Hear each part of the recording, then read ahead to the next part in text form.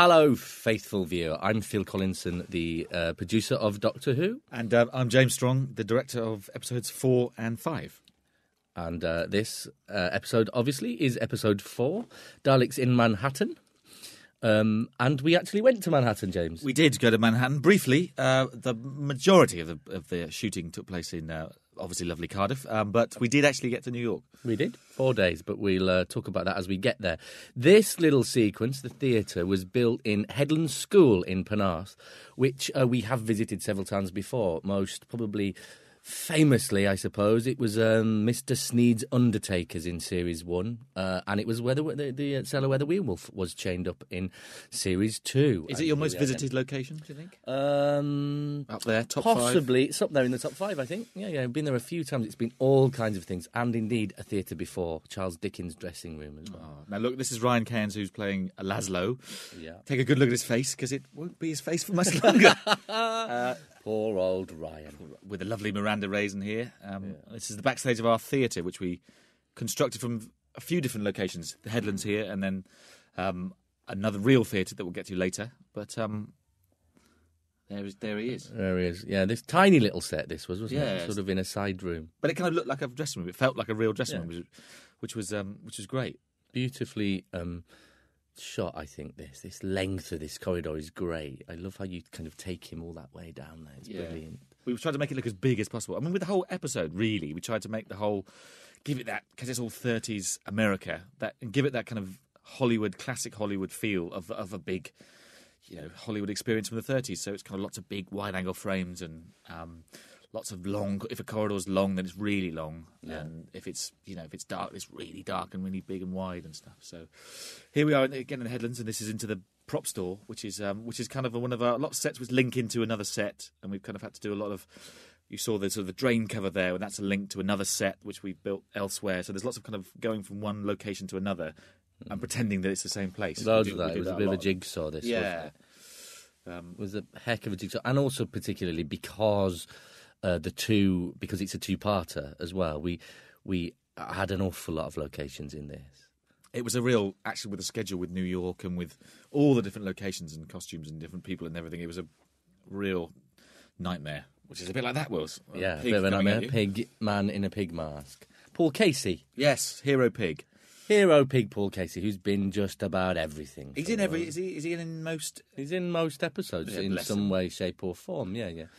But what's He- brilliant is he does bring quite literally something different to every role. He takes on whatever animal it is, whatever monster it is, and um, although I, I, what I love in this pig, his eyes are so sad. Paul's got such lovely eyes. Yes, and with that pig monster on, he suddenly looks like this sort of. It, gives you a lot of empathy towards the. Um, um, what's happening? Ha- Daleks Manhattan, written by Helen Raynor. Helen Raynor, our previously our script editor, who delivered two marvelous episodes for us. Now, here's the magic of television. Here, this is a mixture of This is Penarth, a Penarth. school playing field in Penarth. where they step out. There's Yeah. David and Freema, which is where we shot their bit of it. But then we cut to the wider shot right now, and we are in New real York. Manhattan. Yeah. So we had to sort of try and match the stone, really, of the wall that the TARDIS is standing against, um, with the stone and on the actual location. when we were, when we were talking about going there, I it was originally written on the on a rooftop, wasn't it? It was.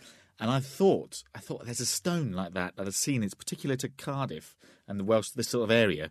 Which to me reminded me of the bottom of the Statue of Liberty, and so that's why I suggested it to, Oh, to Helen and, and you, and, and you went, you fool, you uh, agreed, you fooled without even. No, it's, it's brilliant. I'm so glad they materialised there, though, right Yes. underneath. No, it's fabulous. slap bang at the front. And so, yeah, we've got Freema and David against a green screen there, looking at a view that we shot in Manhattan. I'm sorry, David and Freema. I wish you had been there with us. Yes, sadly, it was a very. We had a marvellous time.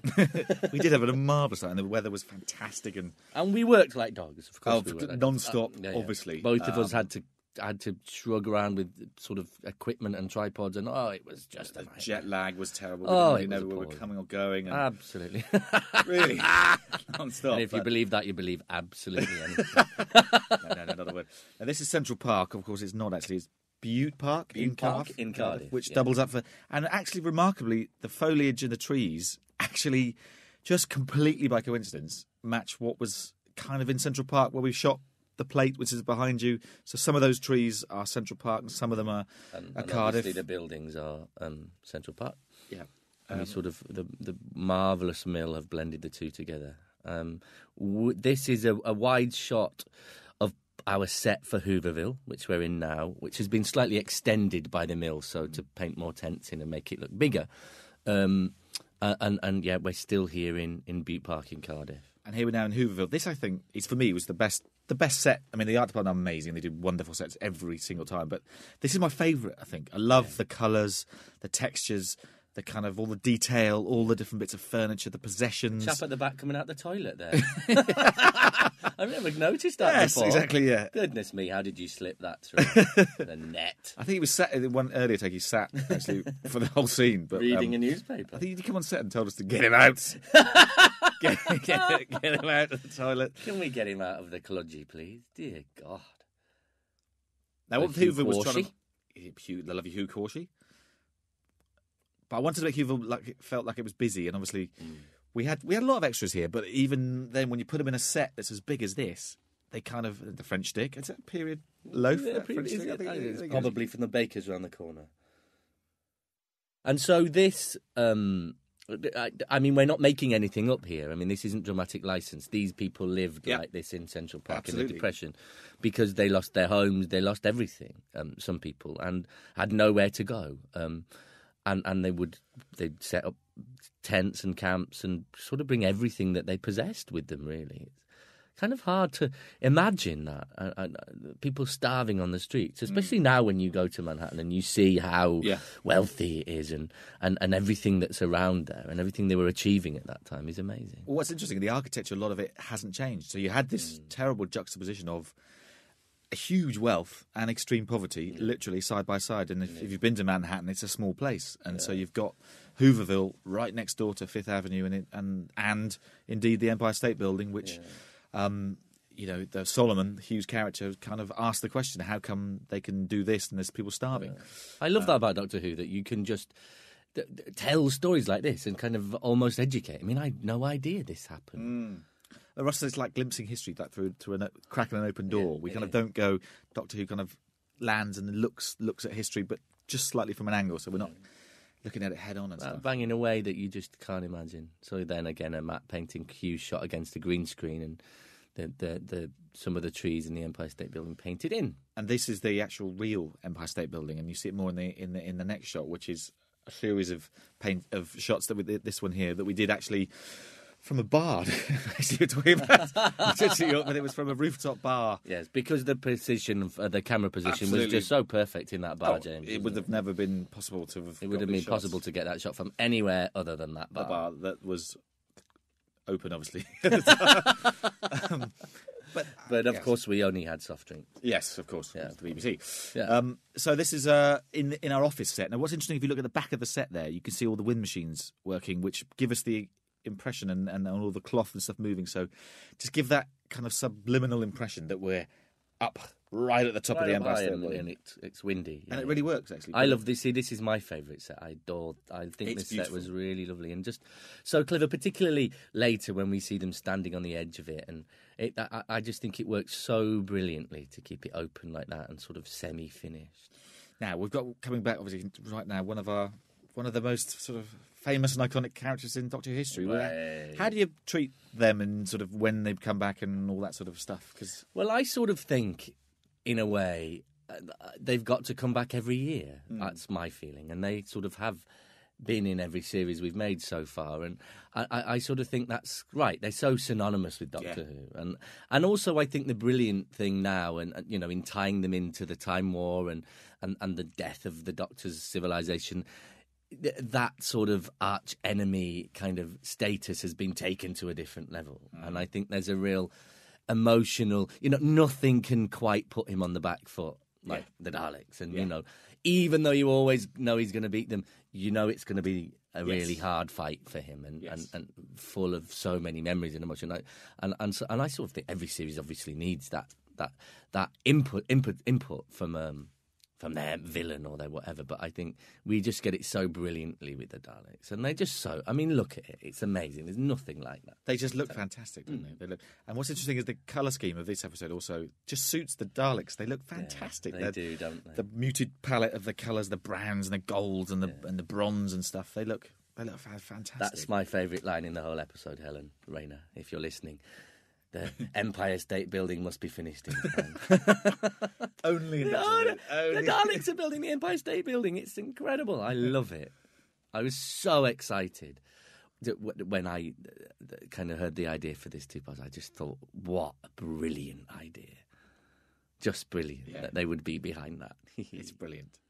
So here we are back in Hooverville, which um, we had to reshoot that close up. Do you remember? It's, did, didn't it? oh, we had a few problems misspelled? with, with, with misspell, and then it came back. There and an S on Hooverville? Hooverville. Hoovervilles, and then Something and then it came back, and then it, then they misspelt cities as well. so right. it went through a few different um, Few different incarnations. That uh, particular bit of, but bless them, the art department, they never really get it wrong. But um, no, um, It's funny this. I, I always imagined we'd shoot these tent scenes in a studio in the dry, and we didn't, did we? We shot No, them out there in the in the forest. so literally, actually, when we shooting these scenes, we're all stood outside in the pouring, pouring rain. And James Strong said, "Well, we'll have to do it there because we'll glimpse through the tent flap." Where do you glimpse through the tent Well, I think actually that was the plan, and then obviously our, uh, our schedule, and then this is shot obviously I think at night, so we'd lost the light.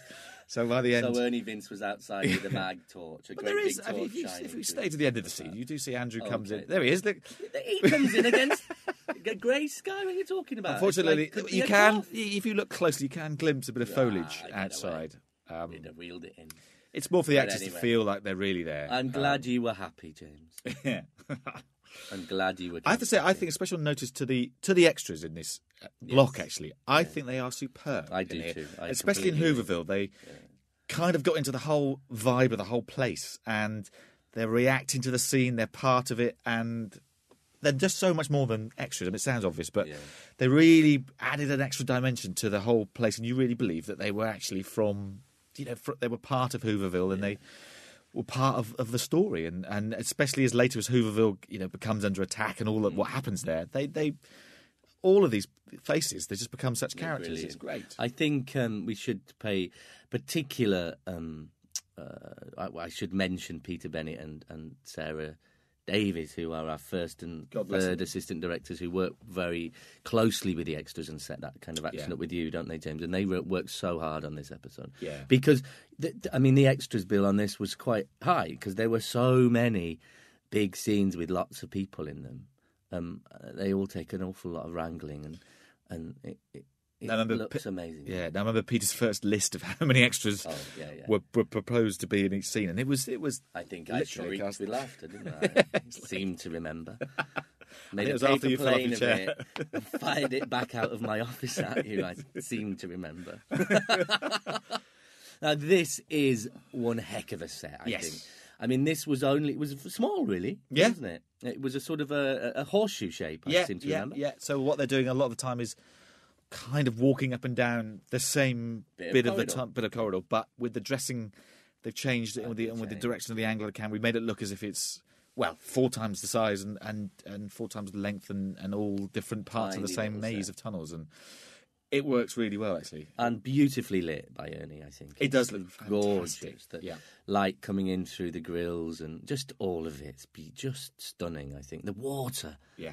I came in and I remember seeing the water drips there, and I just think thinking that's so beautiful. And what was interesting because it was it was a set, so we're inside a studio which is warm Mm. Yeah. and kind of air conditioned and heated most of the time, and um, but you go into the tunnel just literally in the set, and it was cold and it was wet. It was, wasn't it? It Because- really felt like it. Yeah, the the special effects guys had water coming through, and it after a few days it felt like you were underground, and and um, really were amazing. Yeah, it's a it's a wonderful piece of work. I think that kind of had to be because we spend quite a lot of time down here. I know, but but it, it, it, I I'm always astonished by by Ed, Well, Ed and his team. Yeah, because I remember we were, we were looking for it initially as a location, Yeah. and actually you'd think, well, actually some sewers or some tunnels Yeah. would be quite an easy thing to find, and actually it was. We did just found nothing. nothing Yeah, well, there are near what you'd massive health and safety implications as well in going into tunnels. I mean, you Yeah. can get around it, but it is very difficult. You know, And what we had to do was so much; it would have been so oh, it would have been miserable, wouldn't it?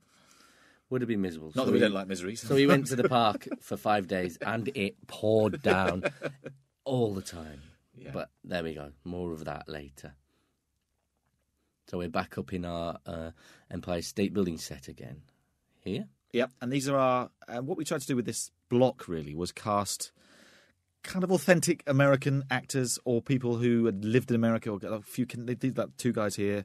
Um, Joe Montana, who's the, the bald guy, Who's been name. in Doctor Who before? He was in Ah. um, our first Dalek story, Was he? which was set in a Utah base. He was. Oh, wow. Yeah, yeah, yeah, yeah. Played a different character at, at Soldier, and we liked him so much, and we just thought, oh, let's have him back. But what was great is coming on set and hearing all these American voices, American actors, and Mm. Yeah. American kind of set in America. Well, lovely Eric there is um, is from America, isn't he? I mean, he grew up there and, and um, was educated there and be- and came over here to drama school, I think. He is American. Mm. He's great, and I, I, I do have to. Um, I love the bit of acting here with the guys picking up this um, bit of Dalek skirt, which they do a very, very good job of making it look Making it like look it's really really heavy. heavy. Yeah, they do, And actually, it's they? about the size of a tissue box. Yeah, this is the weight of it, really. we should um, we should mention Eric because he had such a tough time on this episode. Once he well, well on these two episodes really. Once he uh, Well, we'll see at the end, got his we? prosthetic on. yeah. yeah. What happens to him when he gets that the, the big yeah, Yeah, mask on? the prosthetic that he ends up wearing for oh god he wore that for what felt like weeks oh, and here comes, here here he comes comes again Dalek again. And we had to shoot this a few times because of the the floor is all different levels, and actually we had to try and get it Get the Dalek look- to go from yeah. one to the other smoothly Yeah. brilliant this that he goes to the end and surveys Manhattan and so the um the point of view the Dalek's point of view shot that we're about to see we shot at that from the top of the Empire State Yep. Building didn't we Yep, we went up there at um, um, 4 a.m. Uh, before Now, it you, opened you weren't going to come up, were you? No, you, you I were- was, I was, I was was really then? Apprehensive because I'm, I'm terribly afraid of heights. Really afraid of heights, and more than it's not necessarily even the height; it's the kind of journey up there, the lift, Mm. really, that I always start panicking in. And I just sort, I, in my kind of mind's eye, I can just see miles of empty space yawning away underneath me. That matte painting, just have to say quickly, the um, the attention to detail that the mill have done, and it's amazing because that's modern, smoke and all of yeah, that, yeah. modern day New York. But they've had to paint out all of the buildings, so they've gone through it in a fine tooth comb and taken out Taking everything out. everything out that um, is not authentic to the period. Yeah. So it's brilliant. It's a Brilliant beautiful shot. But yes, the, the, we're top of the Empire State Building. But actually, if you're going up in the lift, you go so quickly. You don't. Oh, even, you're, you're up there in I think I think it's about thirty seconds, Yeah. isn't it, or something? And so we went there four o'clock in the morning. It helped that I think I was half asleep still. And went up there at four o'clock in the morning before it was open to the public, and we saw and we filmed and saw the sunrise, Hmm. um, which was just absolutely the most beautiful thing I think I've ever seen. It was quite a special moment, wasn't it? To, see, to see the Was sunrise. To stand and- up there and see, uh, in a way that not many people have seen, I imagine, because you know it's not sort of open at that time of day to anybody. Yeah, it's only so- open really in daylight. Well, I suppose at night in the winter, but No, but you can't. You can't normally go up there and watch the sunrise and stuff. And it was colder, wasn't it? Because it was actually quite warm on the ground. But when it got that high, so cold. it was freezing. It was absolutely freezing. We all had huge overcoats on. But, it was an incredible thing to do to just be allowed to go up there with nobody else. So peaceful, wasn't it? And it's not that scary, is it? Get- Actually, in somehow the it doesn't feel. In the end, it was I, I was just quite moved by the whole thing. Uh, yeah, that always kind of overtook me. But I actually, the truth is, I wasn't going to let you all go up and not have me there too. I wasn't going to. I don't think we'd have let you either. Nah.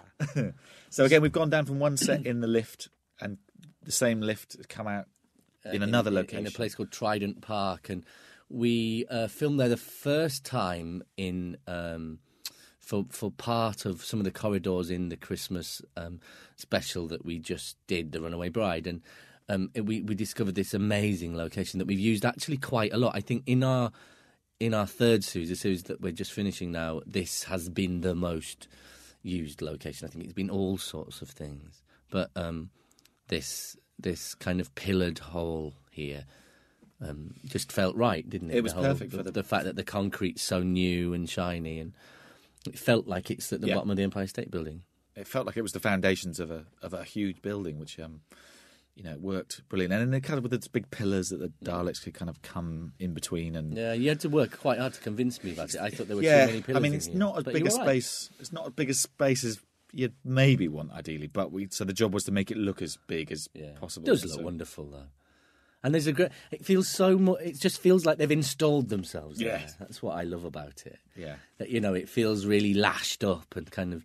Imagine they they sort of beamed through the time rift or whatever and got and, and, and took themselves there and sort of just had to scratch their Yeah. tin heads and say, well, what do we do now? Get a few pigs together, a few human beings, cross them, and we're laughing. and there we go. It was also the cold. It actually was the coldest place I've ever filmed, though, because it was uh, like a tomb in there. In that, in, that like, in December, wasn't it? We were filming it. Was it December? November. Uh, November. November. Yeah, Very cold, but it, did look amazing. And it was a very cold November. We had a really harsh couple of months, really, November and end of October, November. Yeah. So again, trying to make the most of the sets here, making all the different alleyways. And Yeah, you'd diff- never know that was the Yeah. set they'd just walked up. I think it's wonderful. Sort of that cold grill there that, that just makes it feel different. It's lovely. And here's the pig that we saw at the very beginning, Paul Casey, who's Paul now Casey. here, the same pig. Um, I think this is the shot you were talking about with his eyes. He looks so sad. When this he- moment there when, when the doctor comes up and sort of talks to him and stuff. Yeah. Also, I think the sound effects, the, what the sound team have done with the sound effects of making it feel like all the putting a sound effect for every drip and the echo and Mm. That that really um, evokes the, the the feeling that you're in these tunnels and Dank and it's wet Yeah. and it's damp and yeah. and you wouldn't even notice it, but without it, you just don't really. It would be so empty. yeah, but they do there. Brilliant mask as well. It is a- yeah. Really, truly brilliant. But look at him. Look at his eyes. He looks so sad. Uh, well, I don't think you'd be too happy yourself, would you, if you woke up and looked in the mirror and that had happened to you? No, Dear no, exactly. It's not. You'd have a word. But, um, I, I think for me as well, the the pigs, the pig men, especially especially actually this bit here when the group of them. This is one of the most scariest. I've seen lots of monsters on Doctor Who, and and you know, but these because they're pigs and they're kind of Something carnal and yeah, visceral about carnival them, about them, and, Yeah, their, and their sort of grotesqueness about them. I think they're just absolutely horrific. And I the guys playing them, they The really they all look the same as well. Yeah. Boiler suits and. but each one of the pigs has got its own little bit of personality, and um, um, Yeah. I just find this the, the prospect, the, the notion of being chased by a load of pigmen. Oh, lordy. absolutely terrifying. You see, some of the ears are turned down because when we first saw them, do you remember the ears were up and Yeah, they looked a bit I think cute. we all said they looked a bit mousy, Yeah, sort of a bit dormousey, really, and a bit cute. And I think that, that we sort of, so we got we got um, Neil Gorton's people to sort of bend Yeah. down the ears. So here's an example of what you were talking about earlier. So they they climb up that sewer set yeah, and they Here they climb into um, Headland School at the top there. Um, so obviously, in our sewer, we had to have a little bit of a return at the top of the ladder, so you could just see up it. yeah, And then in our Headland School set, we had a bit of a return below. yeah. that, A bit, that- but it's really hard. thing. You've got to be really careful with the angle So they, because you well, can't. it was just enough for them to start the descent Yeah. into it, wasn't it? Really. So when Frank gets taken here, and then he go, and then he goes, and then now we're in Headlands up Now here. we're in Headland School, yeah. So that's so between the two, And it really works. You really feel the, you know, it's very seamless. I think. Again, really clever. There's your great shot there. Your I love that shot of the gun Your, coming, uh, just a little. film noir. Yeah, man.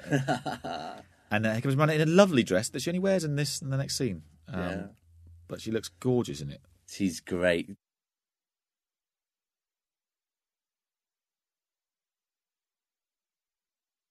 Again, that, that one of the things I love about these two episodes is just how well realized these characters all are. They're such you know exactly who they are within five lines of of what they say, and they're Yeah, so, they're yeah, so beautifully drawn. I think by Helen, she did such a great job. And the, and the, all the departments working together. The costumes, the Mm. you know, the costumes are amazing. Louise Page, Lu- Oh, lovely Louise. fabulous costume designer. Everybody Louise looks Tyler. incredible, and Yeah, they do. I love the way Solomon's kind of again. He's got that brown muted shades that we had from Hooverville. Like I said, I wanted them all to reflect their environments, and so Tallulah's a bit more kind of glamorous and, and sequins and diamonds and stuff. And a great wig there on Miranda, I think. Sort of very Jean Harlow. Yeah, it, yeah, you yeah. Because you think it was a real hair. Actually, Yeah, you would yeah, never believe it was a wig. because she's got very short, kind of spiky short, hair. spiky hair. It's a wonderful wig. Barbara Southcott, our makeup designer, responsible for that. But yeah, it's true. they had their hands full on that block, and this block will, will them, will them go-go dancers. all the dancers and, and and all the extras who all had to look ill and pale and oh that it was a mammoth job for them actually yeah th- this was originally this scene was set up in the gods i remember Yes, it was. and uh, when we came to schedule the episode we had too much um, material to film in the in the real theatre that we haven't seen yet but um, and so uh, we had to decide what we could take away from that location and put into our studio set. So this was one of those scenes. What I think is amazing in the whole process, actually, every time it's when these things happen, when you have to move a scene or you cut a scene or you, and you think, oh, I'm really going to miss that, or oh, I'm not sure it'll work, and then in the end result, you just it's you can't imagine it being anywhere else. yeah else, you can't can you and the, or that you don't miss anything that gets cut. It's it's amazing the way it, it kind of all comes together, really, in the end. Yeah, I, I think um, it it's especially in something as rich as this, where you've Yeah. got so many different locations. That's the thing; you can do that really. Well, also that scene, I was just thinking actually that scene there was a much longer scene as it was written, and we and we shot it, and there's a lot of actual. There's another sort of set of exchanges between Solomon and the Doctor, which we've, you know, Russell actually decided in the end we didn't need them, and he's right. We you don't need them, but at the time you think, oh, just because the actors did a great job because they would have done, you kind of think Yeah. you feel. well, I think that happens. You know, it, it, in most the job. episodes, there's that sort of filleting that Yeah. goes on at the editing stage when you actually sit back and, and watch it as a finished program, and you and you, you there are things that you take out that you can't believe you were, would ever have taken out Yeah. at script stage. You Yeah. Mm. can't imagine you'd ever not have some of that information in there. this is my favourite line in the whole thing: "Heidi Chicane," And a broken ankle. which uh, which had nothing to do with Tallulah, of course. I really, I think it did, don't you? I think she was there. I think she was greasing those stairs that night as she was, as, as Heidi Chicane was running that down. black ice at the back sta- bit- yeah. the stage door. Few, few ball bearings on the stairs, definitely. I love this bit of Tallulah as well when she goes, jumps between being really upset and then now she's over it. and she's uh, back on with the the next bit of the story.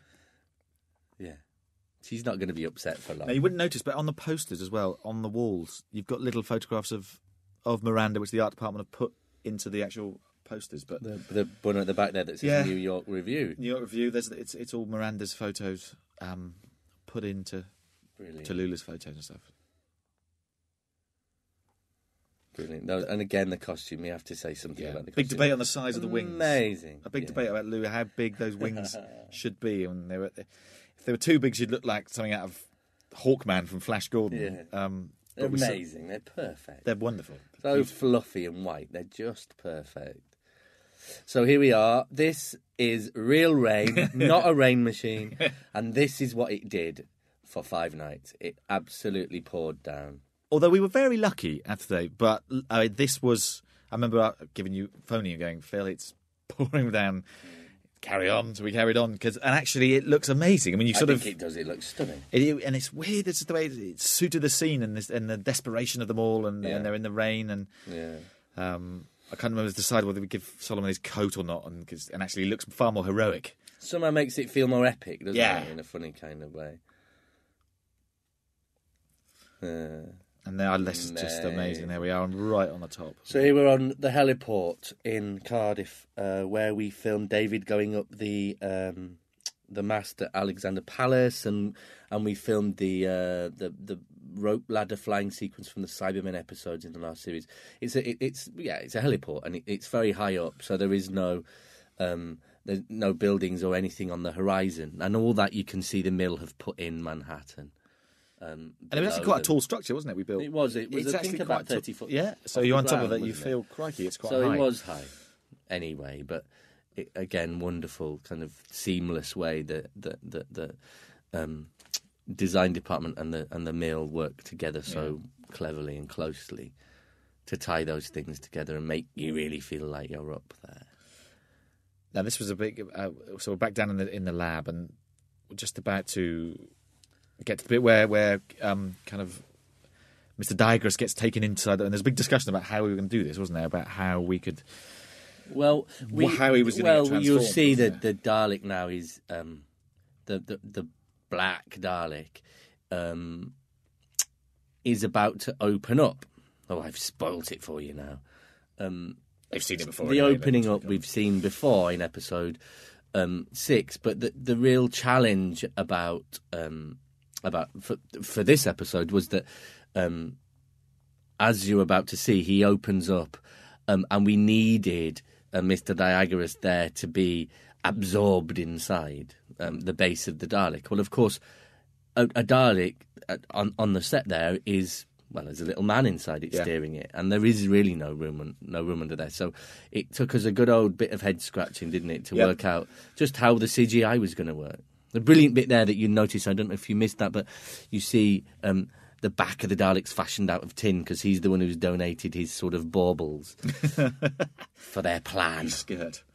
Yeah. So here we go. So the Dalek opens up now, um, revealing the creature. Because we're discussing whether it should have sucked him, not not pulled him all the way in, but then actually Oh, then he, but he has to. Yeah. And about what would happen. And the detail on that shot is beautiful. I think I love the way the screen folds away. Yeah. And and who knew that the Dalek had such massive, powerful tentacles? My goodness, this is hideous. I think. I mean, that is just horrible. Can you imagine? Look at that. Oh, look. Off he goes. He's going to cook for a bit. And another piece of slime. There's so much green slime in this episode. There is a lot of green slime. So much green slime. So here we are in the gods of um, a theatre which was Treorchy. in Treorchy. Yes. It's up in the um, valleys, really. the valleys. Yeah, about half an hour from our studios. In Most amazing, beautiful theatre in, in the middle of a mining village. I Really. know it's a beautiful uh, theatre from what's from the. It's Yeah, predates 1930s. Yeah, twenty. Very days, unspoiled. I think it's a cinema now, isn't it? I know a they still theatre. have- They still have theatre. Pantos and sh- theatre and stuff and A music. real find that place was, though. Because we didn't have to do very much. No, in fact, I don't think we did anything. I think we put the backdrop on the on the stage, Mm. um, and and everything else is exactly as if you go in there tonight and see a see something. It's um, Yeah, it was a real find. Here we go. So this is, I I have to say, not my favourite sequence in the world. I mean, I think the dancing is beautiful. I love Miranda. I think the choreography is amazing. But I sort of just felt disappointed by the set, really. You think we should have had a bit more? Something? Well, I don't. I just wish that stage had something else on it. You know, Mm. the the curtain sort of almost looks like it's just sort of hanging there. It all feels very bare. That's all. And I imagine it was so much more vibrant than that. And Yeah. you know, some sort of scenery and I don't know. Although I do think the um, it means means you focus on the girls, which was kind of Yeah, I they didn't want to so. distract from, I guess so. these amazing. I mean, it's very beautifully shot, and and you know, who am I to complain? You know, but it, it, it I was I was disappointed when I saw these rushes. I have to say. we were meant to have a glitter ball and it didn't turn up. Oh, Which- so I don't- it's that made all- Glitter Ball's fault. I don't know if that would have made all the difference, but um, So there is our first glimpse at Ryan Carnes in his pig mask. Ryan, the the chap who was attacked by the pig at the very top, um, Tallulah's boyfriend, ha- who has now been half turned into a pig. I sort of wonder what happened that day. Do you think they had a power cut or something? Yeah, I don't know how he- pigified. it says he escaped. I don't quite know how what he did. escaped as they were in mid Yeah, it must have been pain- transformation. Must have been quite really. painful, I'd Yeah, imagine. But yeah. um, yes, he, he he does. It's a clever idea. He's kind of retains the characteristics. And Yeah, again, the, the, the funny thing about the the mask he wears, it really accentuates his eyes. And, Yeah, and he's does. he has such sad eyes too. and it, although it looks much smaller than the real pig masks, actually took longer to get ready because it's it's actually completely molded to his face. And. Yes. um, It used so- to take him about three hours in makeup. Oh, I never actually wouldn't have recognised Ryan. No. If um, actually, if you notice, that's not Ryan who runs on that page. That's, that's a that's a Was that a double? because it was we had to shoot that after After he'd gone. after he'd gone. So um, Uh, you can tell it's not him if you if you if look you very pause your DVD. closely. Um, but it- yeah, I mean, it took him hours, and um, I forgot what he looked like. I took, Ryan came Yeah. into the the um, lunch bus, and I was like, "Oh, it's It's Ryan. it's Ryan." Tap you on the shoulder. Oh, now Martha's. Martha's copped it. There was a bit. It was a bit longer this scene, wasn't it? And and we ran out of time to shoot sort of the descent into the manhole and stuff. Yeah, again, there was all there was lots of a remember. preamble, and actually, it all It works Of, it works. now. You There he never miss it. Again, out into one set, into another one, and Mm, to another. now he's climbing through the roof. In fact, of the of, the, of our set in that The we basement built. set. Mm, Um, I mean, I love the water reflections that Ernie's put on the wall in that really lovely. these shots. It's beautiful. And that amazing coat Miranda wears. Yeah, Just amazing. It's like a movie star in it. Great. Another wonderful pair of eyes on the. it's interesting because it's, it's another, almost another companion for the Doctor yeah, in this. I love that when that happens. I mean, we Sort of you know up- we do try and do that quite often. That we team them up with Yeah. new people, and it, it sort of gives them new sort of new directions to go in. I suppose as characters, you know, and you can you can find amazing things out about your regular characters just by putting them with a different someone person with a different outlook Yeah. and. And, and again, it's great in this episode that they that there are sort of people, Frank and and Tallulah, who sort of do become mini companions for our people, for our for the Doctor and Martha. Now, again, this was another massively long chat here that we kind of, Mm. in the end, just commuted a little bit. Um, I love this. This is one of my favorite. It's my favorite shot. I think just that. Well, we wanted that, didn't we? Ju- Yeah. Because uh, there is a quite a there is a shot. I think it is in the Five Doctors. I remember when an old episode of Doctor Who, and where a Dalek comes around the corner. The first thing you see is its shadow, and Yeah. it's so creepy. and we managed to do it. It's brilliant. Part of also the reason, obviously, for us um, building this set was that we never have got Daleks to run, trundle through a real sewer. Yeah. It would be just too bumpy. We, we, uh, we, I can't bear it when the eye stalks bump and bounce. I think it's a bit of the magic wears away. Because although they're amazing design, they're actually quite fragile, aren't they? They're terribly fragile. The tiniest bump makes that sort of eye stalk bounce, and you have to be very careful that the floor is absolutely smooth, yeah.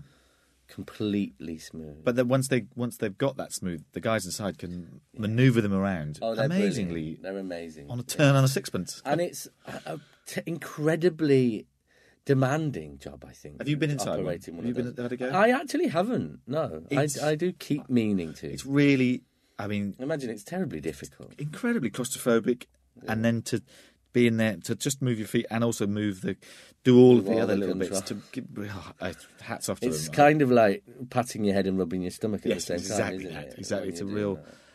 And they have to be choreographed. I mean, Yeah. they're like they are like a dance troupe, really. I mean, they have to move in and out of each other so gracefully and, and and elegantly. What's is, what's great is when you because each Dalek's got its own actor, which is who's hmm. inside, and you block it as you block it with a normal so with the rest of the actors, and and then the guys kind of sit and squat like they're in Dalek mode, and then you block them just as you would normal actors, Yeah. but they're they're the Daleks, and then they come on set. With the, you know, it's, Nothing quite like it when uh, the the set is there when they're on. It's amazing. no, there's nothing like it. Actually, it is totally just exciting. It's so iconic when they when they come on set. You, nothing nothing beats it. It's brilliant. And it makes such a difference having Nick there with his he, Nick feeds the voice in live on Yes. set, and it makes such a difference.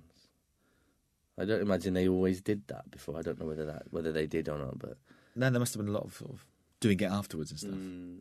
Which actually was what we had to do with Ryan with those teeth the in his. teeth really stopped him. They really limited his ability to speak, didn't they? Really, not exactly a brilliant thing for us to have done to him. So a lot of his dialogue, just about all of it, was post sunk, which Yes. means after. Uh, after filming, he had to go into a sound studio um, and and lip sync with himself to picture. Which I had to do in- Los Angeles. You went to LA to do that. Which was uh, a terrible. You've been abound on this is a- job. I got my air miles up on this job. Um, You should- but it's interesting, I had to go through US customs with the teeth. and didn't. I did. So so I get Did stopped at US you? customs, and he and he's like, "Sure, what what's this?" It's like, um, it's some false teeth for a pig man who's, who's playing a show, a TV show called Doctor Doctor. What is this? So Oh, how and and the thing was, they start you should have just told them they were yours. You'd have got away with it. Well, you maybe maybe, maybe put them on. but the thing was, they started. I don't know why, but they started sweating, so they're all wet in this, and so these wet, Oh, dripping wet, bag dripping, of sweaty teeth. false teeth Um, I'm amazed you made it through. after an 11 hour flight to Los Angeles, it I'm was. Uh, amazed you made it through. um, we survived. But um, yes, so we had to do all of his, a lot of his dialogue. Uh, this show. Look how moving this scene is. Uh, and a- she's talking to a half transformed pig. and she's touching his collar in exactly the same way they touched Yeah. collars in the first scene. It's Yeah. it's, it's great. Oh, it's beautiful. It's so lovely. So sad. And brilliant prosthetics as well. I mean, even right that close, they stand Mm. Up. They look. it really stands up. It looks just like it's his face. It's it's amazing. Oh.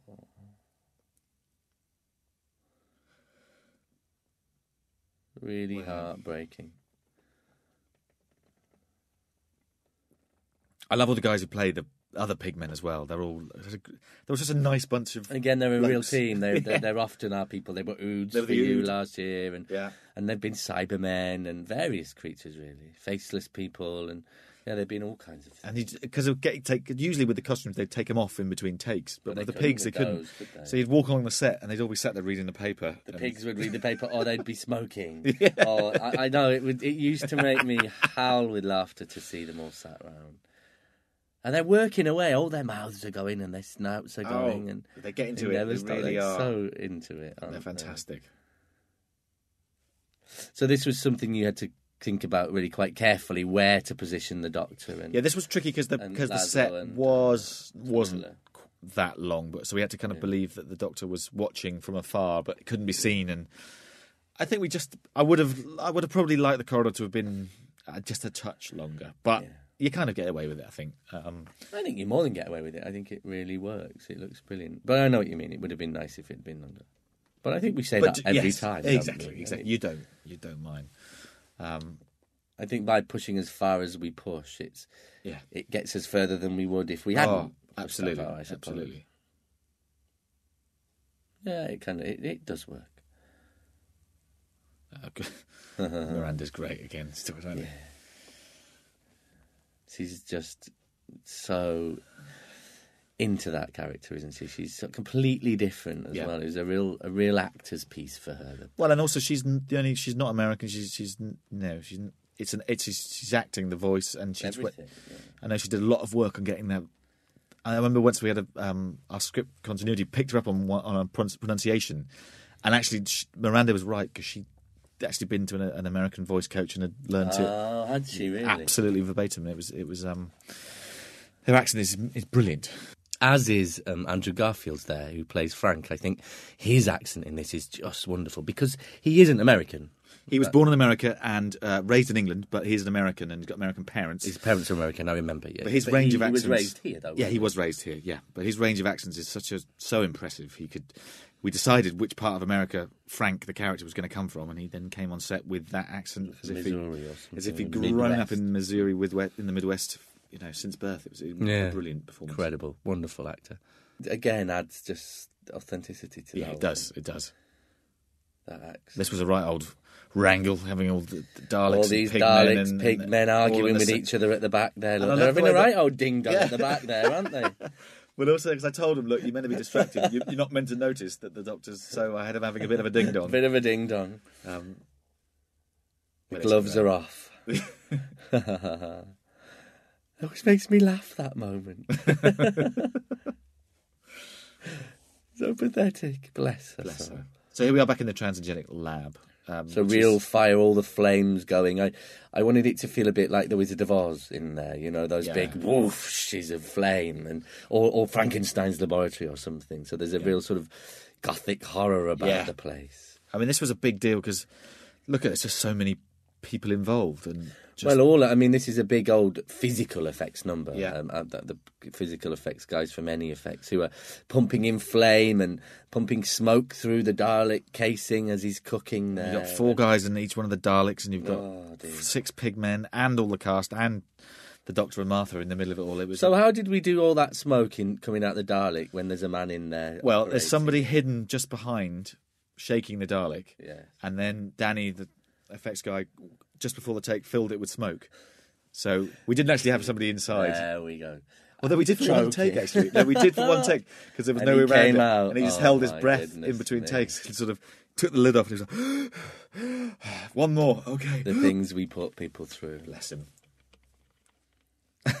pig behind him, look.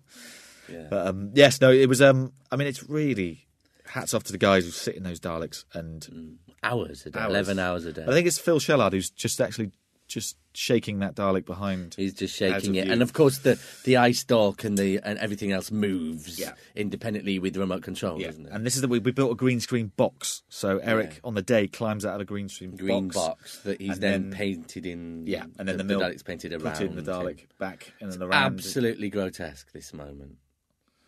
Ab- we had to pop in a close up there, didn't Yeah, we? we did. because we we actually couldn't get the proper.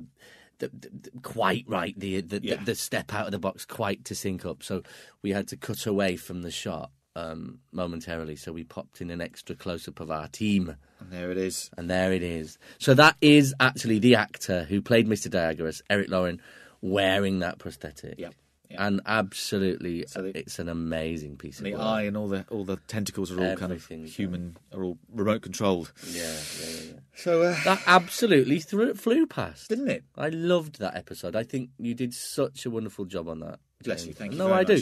I think I think it's astonishing, and just you know, you just weren't phased by the size of it, by by the whole recreation of kind of New York. In Oh, it was Cardiff, great. It was just a great.